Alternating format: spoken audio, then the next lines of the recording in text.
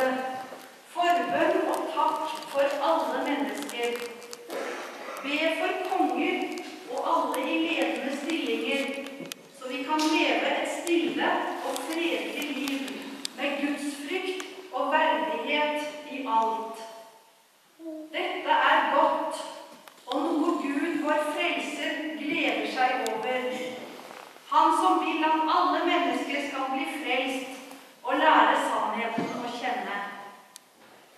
Slik lyder Herrens ord.